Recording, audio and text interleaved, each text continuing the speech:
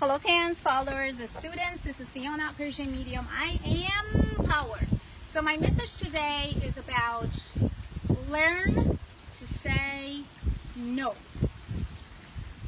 I know that you would love to be the kindest, nicest, and the happiest person on the earth to your friends, family, and everybody. But you have to remember, you can't please everyone. And sometimes maybe you should please yourself first before you put yourself in the middle of the situation that you do not really feel good about.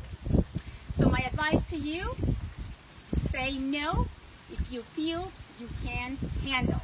And this is Fiona, Persian Medium I Am Power. And you guys can find me on. Avid Advice